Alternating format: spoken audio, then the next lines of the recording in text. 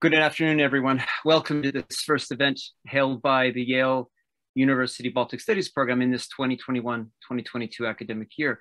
My name is Bradley Woodworth, um, and I coordinate the program. Today, we're very glad to have with us Dr. Una Bergmane, who joins us from Helsinki. Thank you very much, uh, Una, for, for being here.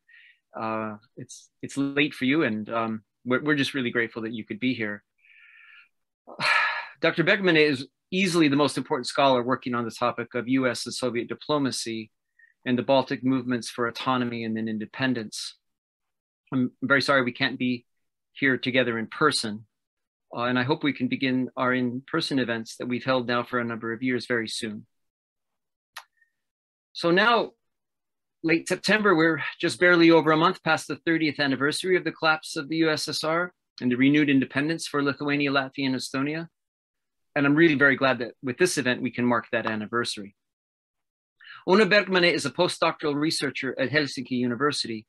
She holds a PhD from Sciences Po Paris. She's been here in New Haven before as a Fox International Fellow at Yale, a postdoctoral fellow at Cornell University, and a teaching fellow at the London School of Economics. Dr. Bergmane has published several articles and book chapters in English, French, and German, analyzing the Baltic Drive for Independence from an international and transnational perspective. Her most recent articles appeared in the Journal of Cold War Studies and the International History Review. Her forthcoming book, Politics of Uncertainty The US, the Baltic Question, and the Collapse of the USSR, is due out from Oxford University Press in 2022. We're so very glad that she could be here to speak with us today. And the title of her remarks follows that of her very much anticipated book, which I just mentioned Politics of Uncertainty The US, the Baltic Question, and the Collapse of the Soviet Union. So after Dr. Bergmane's remarks, we will have time for Q&A. Um, as we've done in the past, you can post your questions in the Q&A function um, here in Zoom. So, uh, so please do so, and we'll take them in the order uh, that they were received.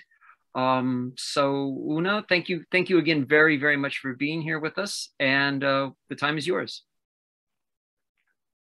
Um, thank you very much, uh, Bradley. I'm, I'm, I'm very happy to be here, uh, and I'm very thankful for this opportunity to talk about my research. Um, so, um, as Bradley mentioned, my book is is is, is um, hopefully coming out. The plan is that it will appear in 2022.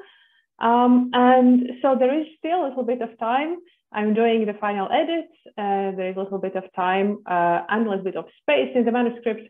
Uh, so um, to improve my work. So I'm very, um, I'm very uh, keen uh, to hear your feedback and your questions. But I will first start by explaining what the book is about and what are the big questions that I'm asking um, in this research. I will share now my screen so that you can see my PowerPoint. Um, and so the book, um, yeah, as I said, I will briefly explain what the book is about, and I will share a couple of answers that I have to those questions I'm asking in this research. So this book is first and foremost a book about the interplay between international and domestic dynamics in the process of the disintegration of the Soviet Union. And I'm looking specifically at the way how the United States and the Soviet Union try to deal with the so-called Baltic question. I'm looking specifically at the time period between 1989 and 1991, but of course, in the manuscript, I refer to the events that took place uh, before 1989 to give the historical background. But the heart of the research, the core of, of the book, are these three crucial years in uh, history of the Soviet Union. Um, so I will say a couple of words uh, about the historiography, uh, just to show you where do my questions come from.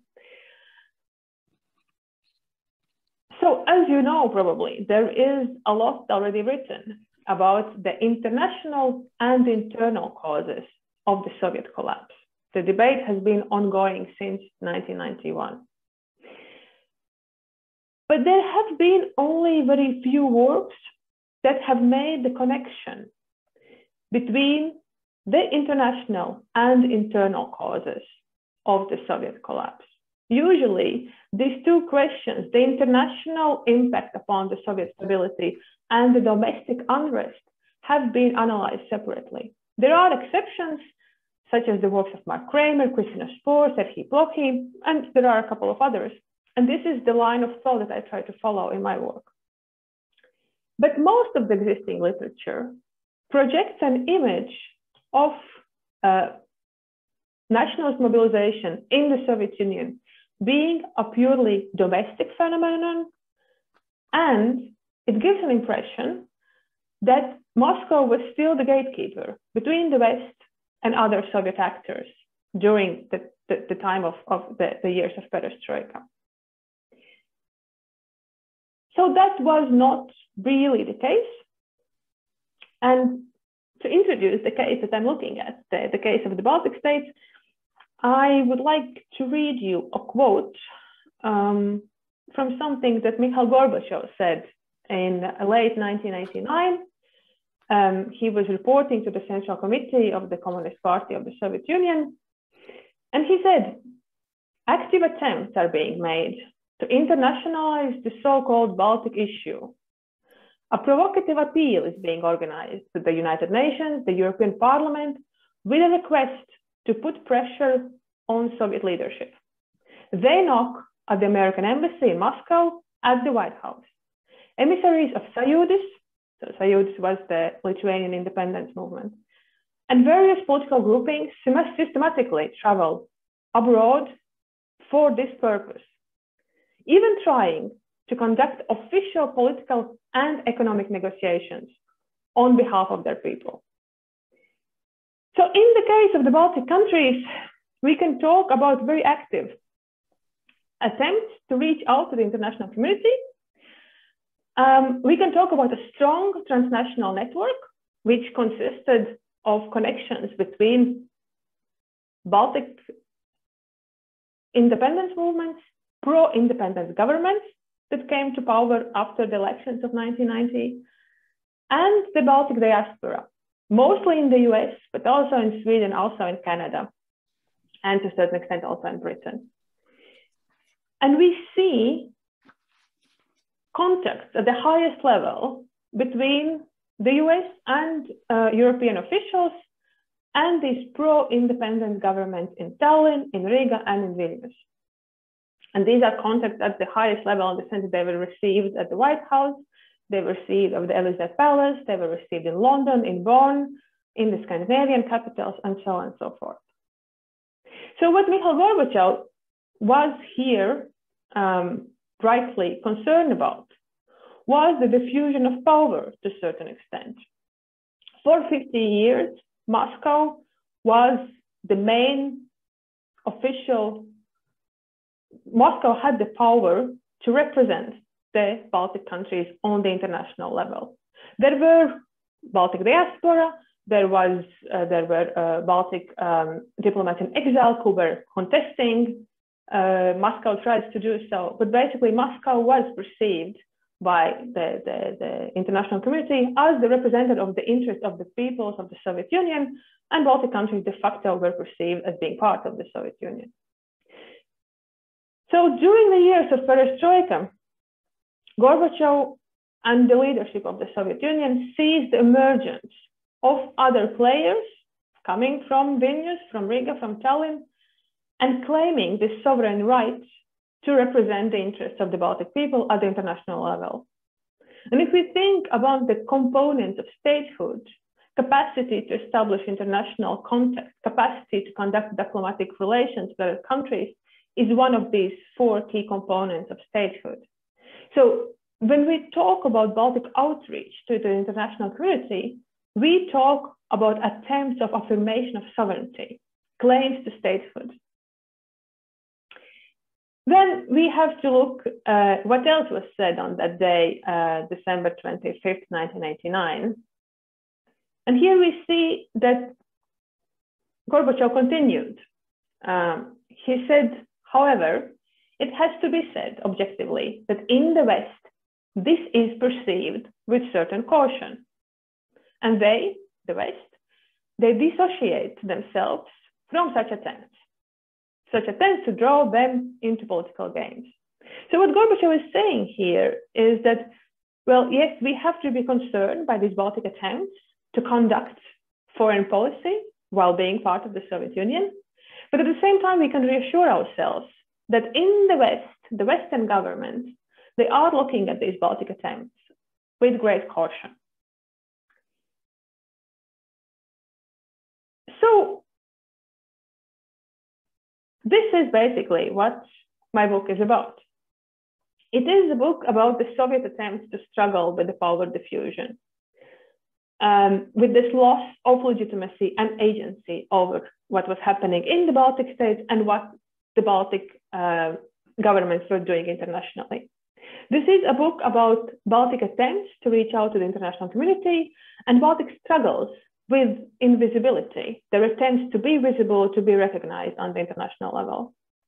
And this is a book about the uh, American response to these uh, dynamics. And one of the main arguments of the book is that the American response to these dynamics was very much driven by uncertainty. So if we look now more closely at these three components of my book, uncertainty, invisibility, and power diffusion. So if we think about the American uncertainty, um, and if we think a little bit about how the story of the end of the Cold War has usually been written, then we see that basically both the memoirs of the, of the actors of the time and also most of the scholarship has written the narrative is built around the idea of American agency. What I try to do in this book is to show the other side of the story, uh, to show the limits of American agency, the limits that were imposed by the uncertainty. So I try to explain in the book that the change taking place in the Soviet Union was overwhelming, not just for the Soviets and Eastern Europeans, but also for the rest of the international community, including the, the, the US. Bush administration, initially in 1999, when Bush uh, became the president of the United States, replacing uh, Ronald Reagan, he initially mistrusted Gorbachev and worried that Gorbachev might use force to stop the democratic changes in Eastern Europe. When, after the fall of the Berlin Wall, it became clear that Soviet president did not intend to do so, then the White House continued to worry, and for a reason they continued to worry about other possible disasters that could come upon the Soviet Union, such as, for example, the fall of Gorbachev or reversal of perestroika by a military dictatorship, or reversal of perestroika by Gorbachev himself. They worried about the collapse of the Soviet Union and what could come with the collapse of the Soviet, the Soviet Union civil wars, nuclear proliferation, and economic crisis, and so on and so forth. So this uncertainty about the future of the Soviet Union, the future of Mikhail Gorbachev, this uncertainty made the, the, the White House uh, very unwilling to be actively engaged, first in the democratization process uh, in Eastern Europe in 1989. Then later they would become more present um, on the ground. But in 1999, we see a great prudence, a a very cautious attitude uh, at the White House. And the same with the Baltic question. Uh, the United States were very reluctant in 1989, but also in 1990, 1991, to be actively involved with the Baltic question. German unification was a completely different story. That was the, the, the top priority on uh, the US international agenda at the end of the Cold War. And this is the point where the White House is willing to risk and to put pressure on Mikhail Gorbachev to obtain German unification, which would be beneficial for the interests of the, of the, of the West. So the uncertainty and then also the pressure to handle the best possible way the German unification, as I said, made the White House very careful regarding the situation in the Soviet Union, but also uh, especially in the Baltic countries. Then there were other factors, other elements that pushed uh, the White House to take a stronger stand on the Baltic issue. And first and foremost, it was the tradition of the non-recognition. So as probably uh, many of you know, in 1940, when the Baltic countries were uh, occupied and annexed by the Soviet Union, the West, first the US and then most of the European countries, did not recognize this annexation as legal. So in the eyes of the West during the Cold War, the Baltic countries were not legally part of the Soviet Union. But that was obviously in the eyes of the West, in the eyes of the Baltic diaspora, while for the Soviet Union, the Baltic countries were an integral part of the USSR. So the non-recognition policy as a diplomatic tradition, and also the pressure from the US Congress. And here we can really see the impact of the Baltic diaspora. There was about 1 million strong diaspora mostly consisting of Lithuanians, but also Estonians and Latvians, that was very active. It was not a, huge diaspora, but it was a very well organized and rich diaspora. Um, that was that had very good connections with the U.S. Congress, both uh, members of the Congress from the Democrat Party and from the Republican Party. Um, and so we can really see between 1989 and 1991 a strong pressure bipartisan pressure from the Congress uh, pushing the White House to take a more active, a more a stronger stand regarding the, the, the Baltic uh, situation. So the combination of this uncertainty and the domestic pressures, it led uh, the White House uh, between 1989 and 1991 to conduct a rather contradictory policy regarding the Soviet Union and the Baltic question uh, specifically. And I will give you a couple of examples, but there are many more. For example, so the White House supported Gorbachev and Perestroika, but refused to provide large-scale economic assistance to the Soviet Union. The US, the White House claimed to support the integrity of the Soviet Union, but then argued that three of the Soviet republics, so the Baltic republics, should in principle become independent. And the White House, the, the George Bush, uh, received the leaders of the Baltic states in the White House already before the recognition of independence. Bush claimed that he was not willing to interfere in the domestic affairs of the Soviet Union, but then it, he did threaten the Soviet Union twice uh, with economic sanctions regarding the situation in the Baltic countries. The United States officially congratulated Lithuania when Lithuania proclaimed its independence. So Lithuania was the first Soviet republic to, to proclaim independence uh, in spring uh, 1990. Um, so the White House congratulated uh, Lithuania, but at the same time, uh, there was no international recognition of the restoration of international of, of, of Lithuania's independence at that point.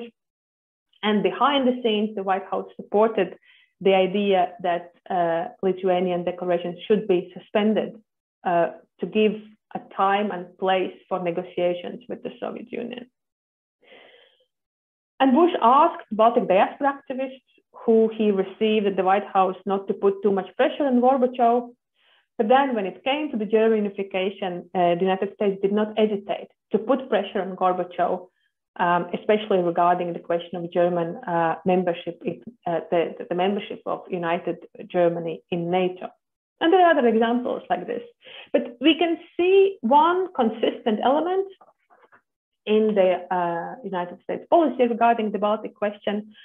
And that one consistent element was the repeated continuous requests not to use force in the Baltic countries. This is something that comes up in almost every single conversation that George Bush had with Gorbachev about the Baltic question, or that uh, Jim Baker had with Edward Shevardnadze uh, regarding the situation in the Baltic countries. There was this constant insistence that the use of force would be the, the red line for the, for the United States.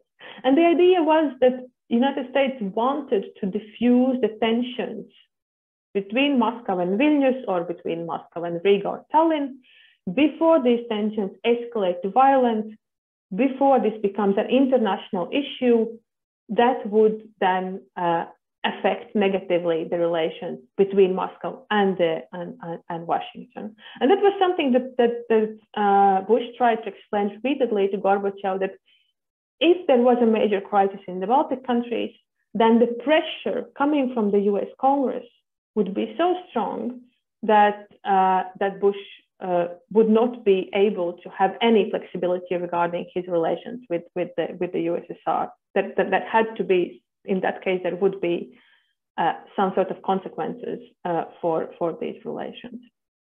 But the the main idea, the, the, the, what what the White House was trying to do at the time was to put these pressures on the Soviet Union to request not to use force, but to do in some sort of a discreet way, using the back channels, uh, using diplomatic communication. Bush wrote private letters about this uh, to Mikhail Gorbachev, but there wasn't a, an idea that this should not be done publicly, not to humiliate Gorbachev, not to manifest some sort of open interference in, in Soviet affairs. And this idea that the Baltic question should be handled um, with, with, with the, the public visibility of, of the question should be reduced, that was something that went very much against what the Baltic countries wanted. The Baltic countries at the time, the pro-independence governments and the independence movements, they were aiming at acquiring as much international visibility as possible. And the idea behind this was that the leadership in the Baltic countries did not really believe uh, that Moscow would willingly left Estonia, Latvia, and Lithuania to leave the Soviet Union. And so it seemed that independence could be achieved only through internationalization of the Baltic question, that the answer to the Baltic question would come somehow from the West.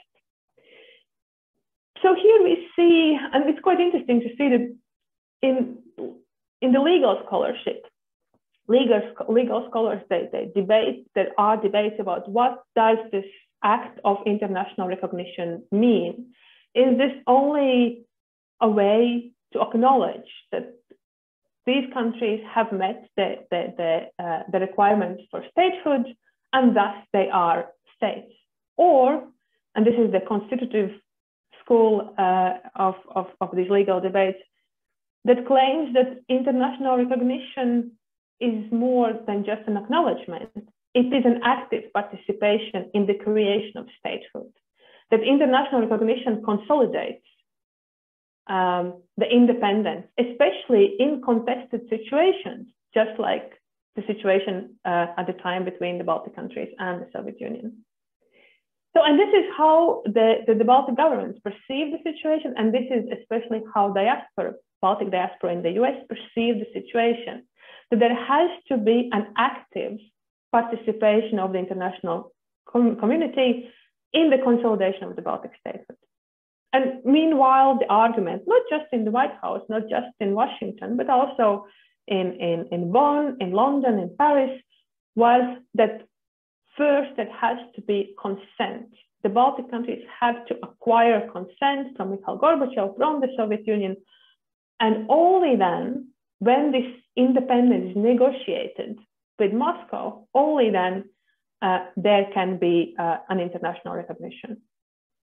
And in the Baltic perspective, the recognition was not just a legal act, it was first and foremost, but it was also um, an attempt to obtain this international affirmation of internally forged identity the, the, the affirmation as some form of a recognition of the existence uh, of, the, of the Baltic nations and an affirmation of the Europeanness of the, uh, of the, of the Baltic nations, an affirmation that they are part of this international community, which they, uh, they, they, they, they, they uh, had been part of uh, in the interwar period. And in this, in this context. So the West became this significant other that, that had to test and testify the existence of the Baltic countries. And it became especially important in, in case of Estonia and Latvia, where in the late 80s, during the last years of the of the late socialism, you really see in the in Estonian Latvian case, uh, a bit less in Lithuanian case, these ontological fears about the future existence of the collective self, which was the Estonian nation or the, or the Latvian nation. And these ontological fears, they came to some extent from their experience uh, with the Soviet modernity and mostly uh, from uh, the, um, the, the, the, it was a result of the large influx of uh, migrants from other Soviet republics, which was perceived as a forced Russification because you, you have the number of ethnic Latvians and Litu- Litu- uh, Estonians, uh, the percentage of ethnic uh, Estonians and Latvians dramatically reduced over the course of the, of the in the time frame between 60s and the and 80. So this ontological fear was a, a large, very large extent, a driving force, uh, not just of the independence movement as such, but also this international outreach. At the end of the day, the Baltic countries, in that sense, they obtained to some extent what they wanted. In August 1991, they are recognized um, as uh, sovereign states the restoration of the independence is recognized by the international community. And at the end of August, early September, there is still an idea which is very strong, both in Moscow and in Washington and in European capitals, that the Baltic states are and are going to be some sort of an exception in the Soviet context. That the Baltic countries will become independent, but the rest of the Union will find some sort of modus vivendi, that will be some sort of a reformed union in which uh, other republics will take part. Um, and the Baltic countries did manage to, to obtain the, the, the highest international visibility among the Soviet republics. So then if we look at um, the Soviet struggles with the power diffusion, um, we see the connection between the international and the domestic in this sense. The power diffusion took place from the party to the state, and there's quite a lot of that has been written about this. Um, and it was just, it was an intentional move by Mikhail Gorbachev to take the power, not entirely, but to a large extent, away from the party and re-enable the state institutions. But this then, of course, and it was supposed to happen, it did happen through democratization. The problem was the unexpected result of this power, uh, of this of the shift transfer of power uh, or equilibration of power between party and the state. It was partially, it, it led also to power diffusion from center to the periphery. And why? Well, because as we know, the Soviet Union consisted of 15 republics, and these 15 republics did have their own institutions. However, during the, the, the, largest part of the history of the Soviet Union, these republic institutions had a rather minimal role, which was to some extent performative, to some extent symbolic, and then it had some limited agency, but this agency was, as I said, rather limited. And now in the context of perestroika, these, these republic institutions through democratization, through free elections, they gain more and more agency and legitimacy. And so this power diffusion, it was, this, the Soviet leadership found itself unable to stop these processes. Because in order to stop this loss of power, um, in order to stop it, the, also the democratization process should have been stopped. Uh, because it was driving force behind these processes. Um, and it could be done through massive use of, of, of physical force. For example, the, if, if, if we think about the Baltic situation. But the force was not used, at least to a large scale, except, um, well, we have three, three on three occasions um, in, in Baku and in, in Tbilisi and then in Vilnius and Riga.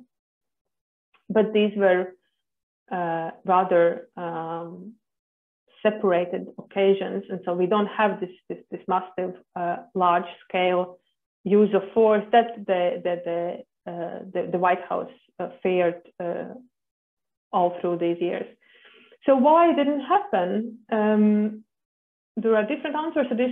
A lot has been written about Gorbachev's personal aversion to the use of force, which was true. He, he was not uh, very keen on, on, on using force against civilians. But we also have to think about the role of external and internal pressures not to use force.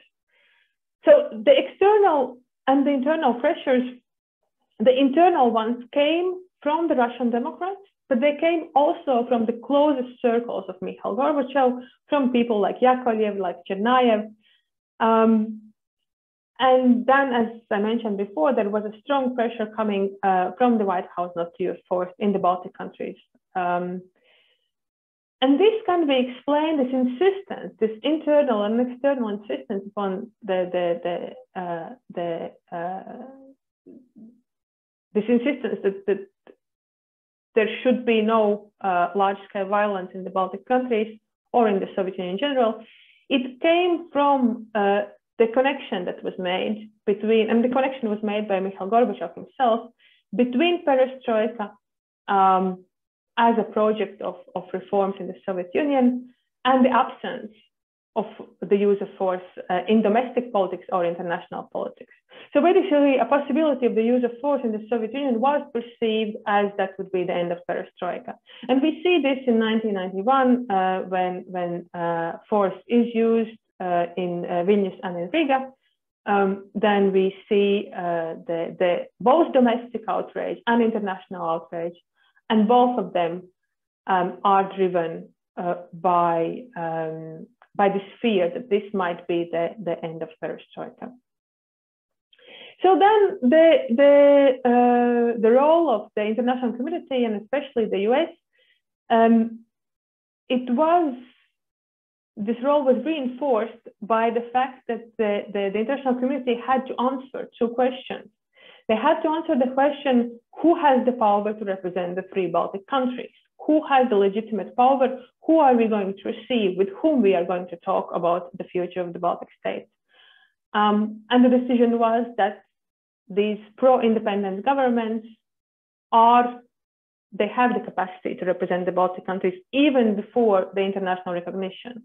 So that is why before the, the, the international recognition, we see uh, the, the leadership of, of the Baltic countries uh, visiting uh, the White House, uh, visiting uh, Paris, Bonn, and, and London. Um, and this obviously had an impact on the, on, the, on the relations between Moscow and the Baltic capitals. And the other question that the international community had to answer was who had the power to decide if and when Moscow recognizes the independence of the Baltic states. And this question became especially important in August 1991 when Boris Yeltsin, as the president of, of, of Russian uh, uh, of, of the Russian Republic, moved towards the recognition of the Baltic independence a week before Mikhail Gorbachev. And this week is crucial uh, in the well in the history of the Soviet Union, but also in the, especially in the history of the of the Baltic countries, uh, because this is the time when the Western governments were trying to understand and to decide who is in charge in Moscow and whose decision should be taken into account. And so, as we know, what happened was that it was Yeltsin's decision to recognize the independence of the Baltic states that opened the gates to the international recognition. And the United States were the one country that was waiting for the whole week, expecting and hoping that first there will be a recognition by Mikhail Gorbachev, and then the White House was planning to recognize the Baltic states. But because Mikhail Gorbachev was hesitating, and because the pressure was was rising uh, domestically in the U.S., then on uh, September uh, the 2nd, uh, George Bush recognized the restoration of Baltic independence. And then the Soviet Union did it on uh, September 6th. So if we think about my overall conclusions in the book, um, so before I move to, to, to my main uh, conclusion about the role that the international actors played in the Soviet collapse, um, I think something that has to be uh, mentioned is that we see uh, this hierarchical approach to national aspirations at the end of the Cold War. Um, and this is not something new. We have seen it at, at, at many points um, uh, in the international history of the 20th century that state recognition is never just simple acknowledgement uh, that a certain political entity has met the, the criteria of statehood. It is always a political decision that produces and reproduces the hierarchies of international relations. And some claims made in the name of right of self-determination are judged more legitimate than others, and the criteria uh, is always uh, subjective. Um, and we see very clearly this hierarchy in uh, at the end of the Cold War. The German national aspirations are judged to be legitimate, and the United States and the international community is willing to actively participate in making them a reality, these national aspirations.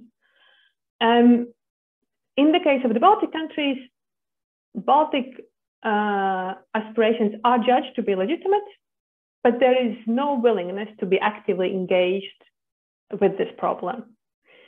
And then when it comes to the national aspirations of other Soviet republics, they are not perceived as legitimate and there is no active uh, international involvement. So my last point, so what was then the role of um, the um, international actors in the, in the uh, collapse of the Soviet Union? So the main battle for the Estonian, Latvian, and Lithuanian independence, it did take place inside the Soviet borders. However, this visibility that the Baltic countries gained uh, on the international level was an important advantage uh, to Estonians, Latvians, Lithuanians, because it helped them to both make allies with the Russian Democrats. And it's a very interesting question. I didn't have uh, time to really dwell on it, but we can discuss it uh, during our question and answer session. So this alliance between Russian Democrats and the Baltic um, independence movements, Baltic pro-independence governments, it was forged not only, but also because of this international visibility that the Baltic countries had. Um, and this international visibility also helped uh, to dissuade the enemies of the Baltic independence who came from the conservative circles, because it made the use of force in the Baltic states much more complicated. This international interest in the Baltic situation, not just from the government, but also from the civil societies, also from the media. Um, so the main stage of the Soviet final power struggle was the Soviet Union itself. So it was not, it did not happen somewhere else. The Soviet Union collapsed in the Soviet Union. But the international community was some sort of an audience for this confusing play, which was the power struggle in the Soviet Union. But instead of being just spectators, the United States and also European countries or the so-called West, um, they did influence the actors who were participating in the Soviet power struggle just by being there, just by their mere presence. So the outside regard upon the Soviet internal dynamics was crucial because actors who were involved in the Soviet power struggle, they did act and they react, they reacted and acted towards each other, keeping in mind the presence of this external gaze. Um, so why was this um, external gaze uh, important for the for the Soviet actors. We see Gorbachev and his circles. We see Yeltsin and Russian Democrats. We see Baltic independence activists and Baltic uh, uh, pro-independence governments that they were trying to project an image of conformity with Western normative expectations to the outside world. On one hand, and it is an important question that I uh, try to discuss in the book, the idea of Europeanness, whatever that word means, that all these actors have their own understanding, what does it mean? But this idea of Europeanness was a key element in both Perestroika project um, and in Baltic nationalism. And at the same time, this international legitimacy that they were all trying to obtain was a political capital.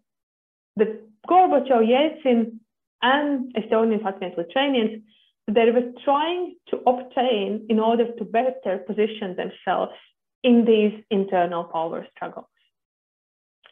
So that was like a very brief overview of uh, the book, but um, I'm very interested in what questions or what kind of feedback you might have. So yeah, thank you very much.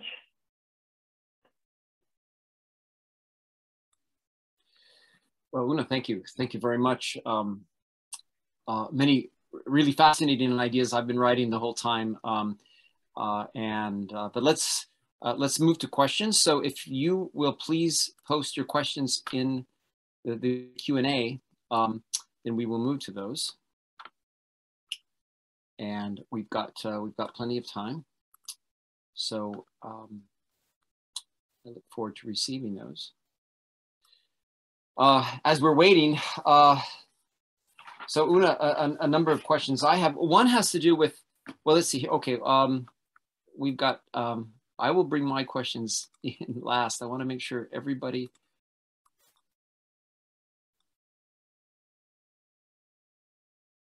has a chance. So I thought we just had one, but um,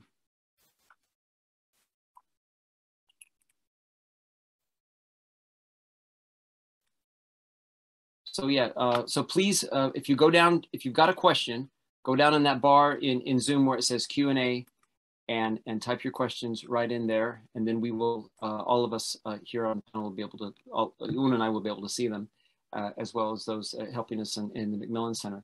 So Una, one, one question I have, um, do, do you, did you see any evidence in documents that you've used um, in, in in your research in preparing this book that there was awareness within the White House about how other countries may lead to a Soviet collapse. You, you describe how the Baltic, uh, through this external gaze, uh, rose very high hierarchically.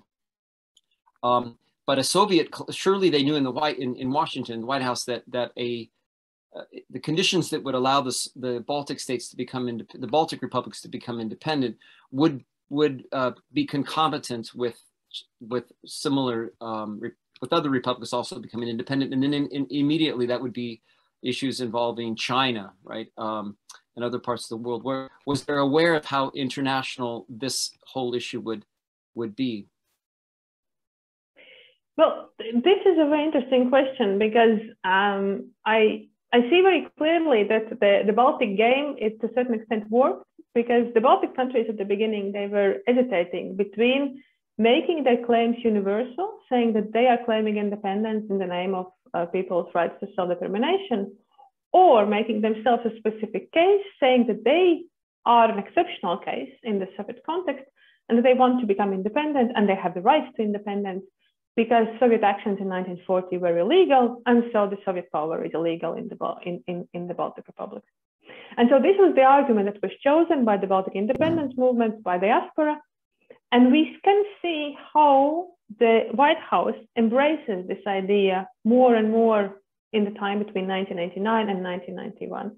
And we see very clearly in the spring uh, 1991, Brent Scowcroft, who is the national security advisor of, of, of, of George Bush, he writes very explicitly to George Bush that at some point, we will have to say publicly that we recognize the Soviet Union in the 30s in certain, with certain borders, and that these borders we recognize until this day.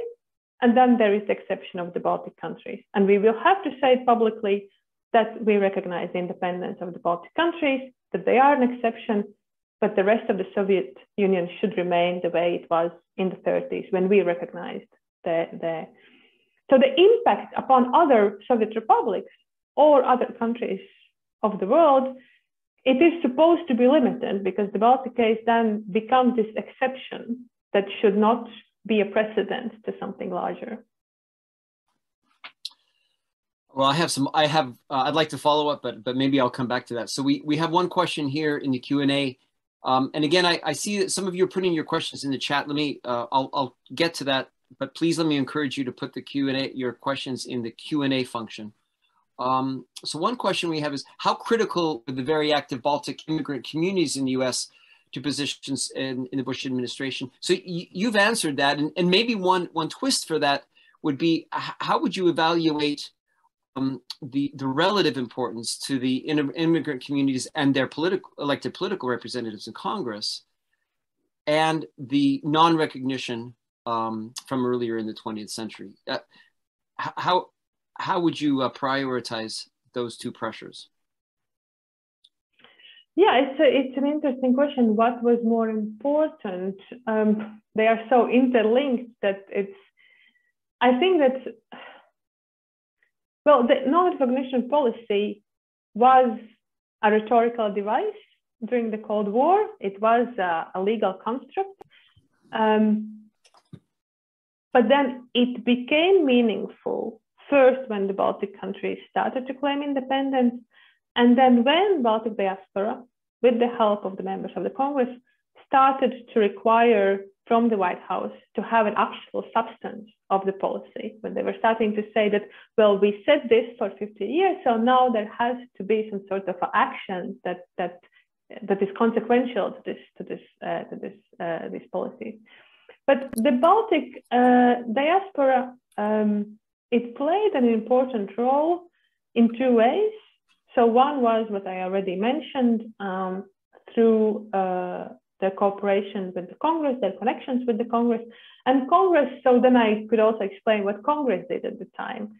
Um, what Congress did was they were basically taking very active public stand, both through um, through voting declarations that were supposed to put pressure on the White House didn't have legal consequences but there's basically this declarative statement. Um, and then also taking a more concrete approach uh, when it came to a Soviet American trade treaty, which was supposed to be, uh, to, to, to, be um, uh, signed and ratified in uh, May, June 1990. Uh, the, the Congress basically blocked the ratification of the trade treaty uh, saying that the first the Baltic issue should be, uh, if not resolved, then at least somehow somehow appeased, and and and uh, there should be some sort of a solution for the Baltic uh, situation.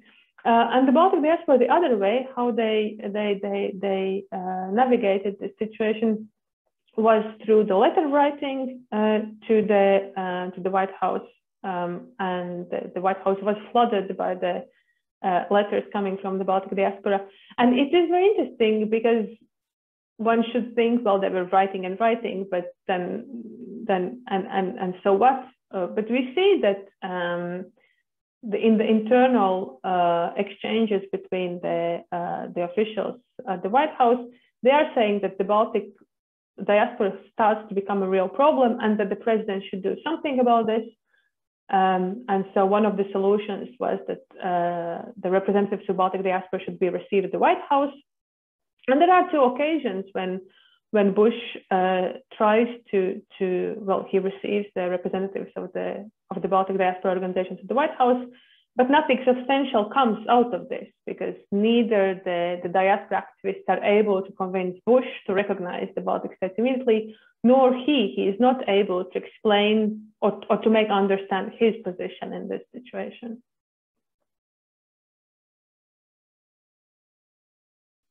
Very good. Thank, Thank you. you, Brad.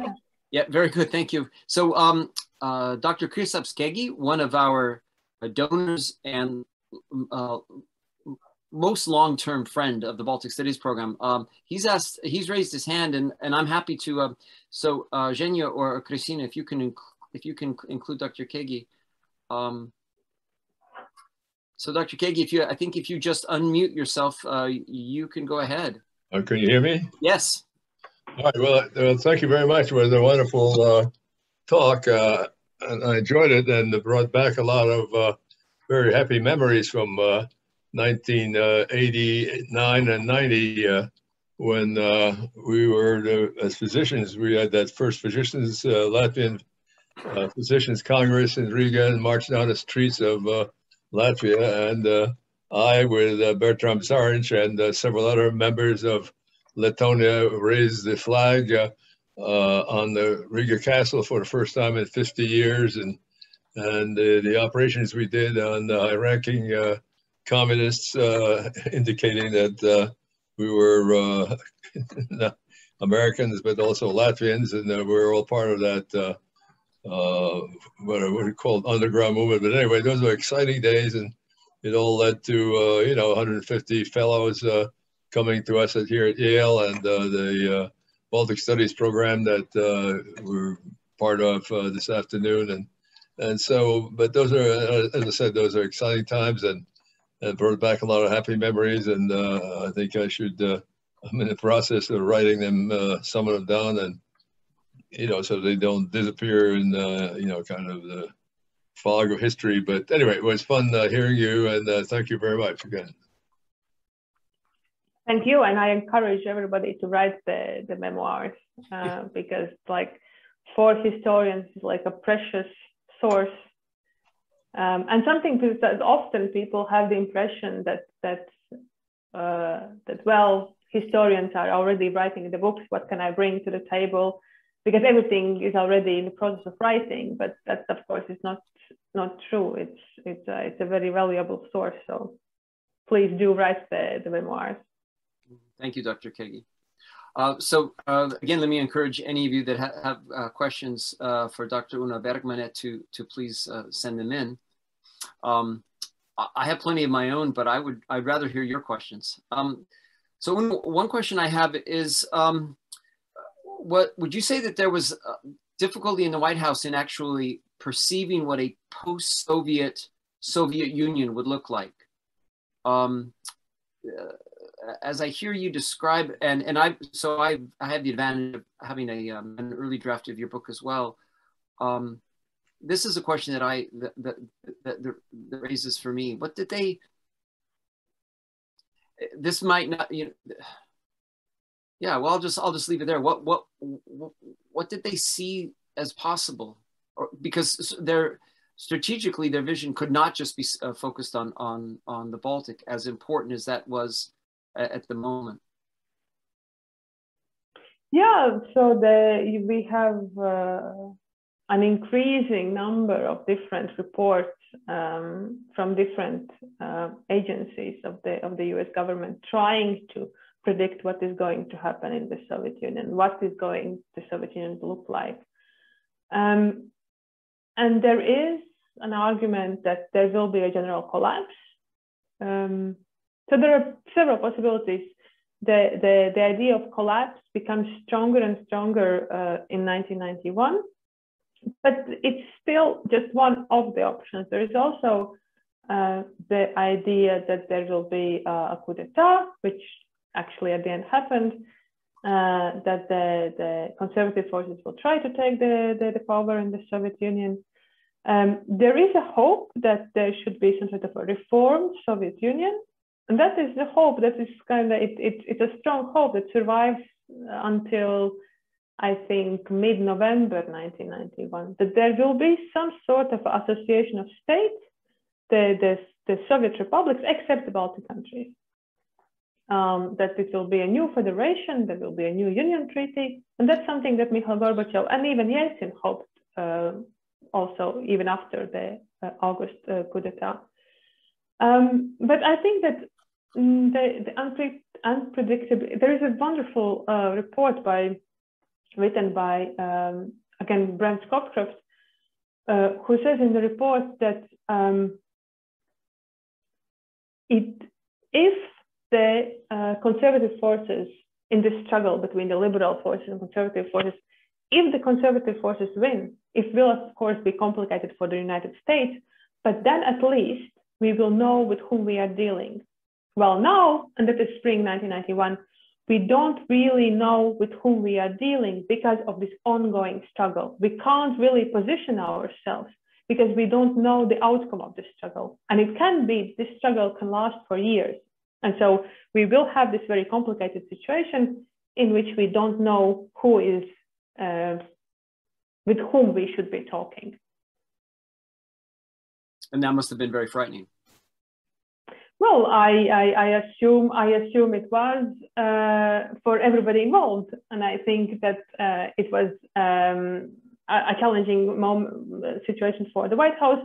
But I think we and, and I and this is something that we should also think about the uh, the way how it was lived and perceived by the citizens uh, of the Soviet Union in different parts of the Soviet Union, uh, not just in Baltic countries, but also in Moscow um, and, and also in other parts of the Soviet Union. And then um, to a certain extent, this uncertainty about the future of the Soviet Union for uh, the rest of the international community and for the Baltic countries, it ended in 1991. There was some sort of a, um, understanding of what, what is now going to be, um, how we are going to handle the situation.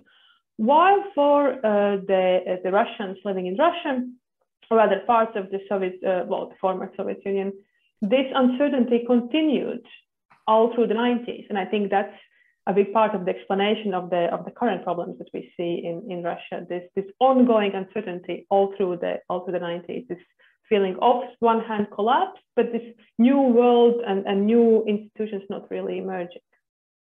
That's a very good point. That's a very good point. Um, so uh, we have a, uh, a question from Anna Vinograd. You mentioned a shift from central power to peripheral power due to democratization. Did that shift remain internationally recognized even after, even after the declarations of independence from the Baltic states? Um,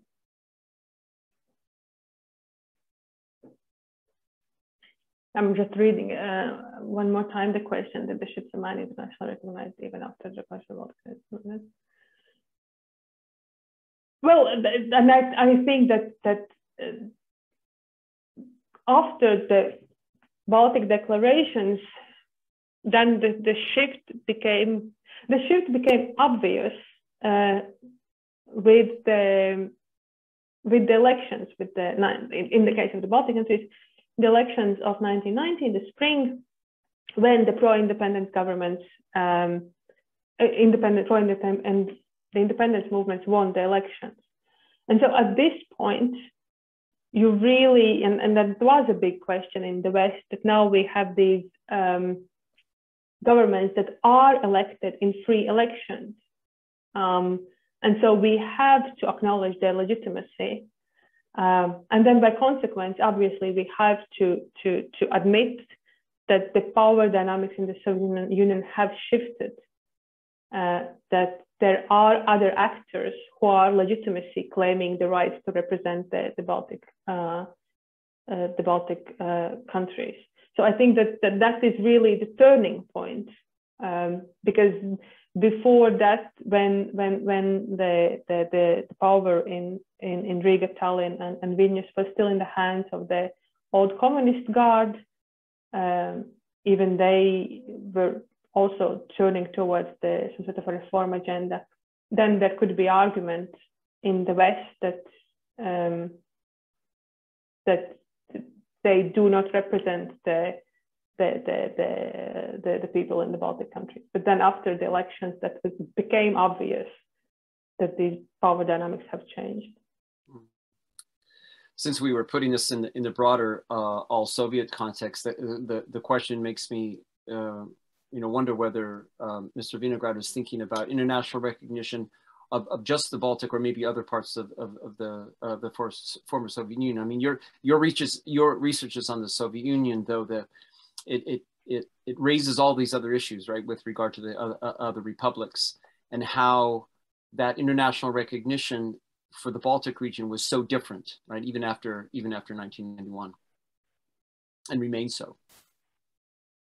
Yeah, well, and and, and that is the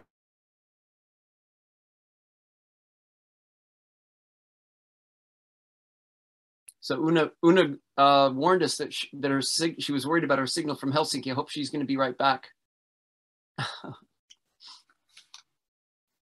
we'll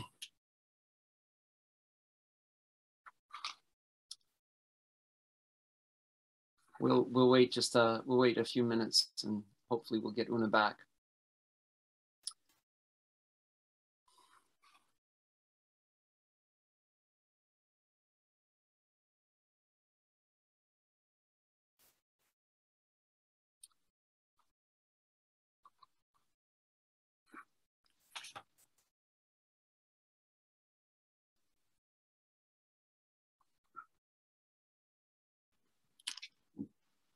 So yeah, just hold on with us for just a, just a couple minutes. We're um, hopefully uh, we just need Una to, to dial in, in again.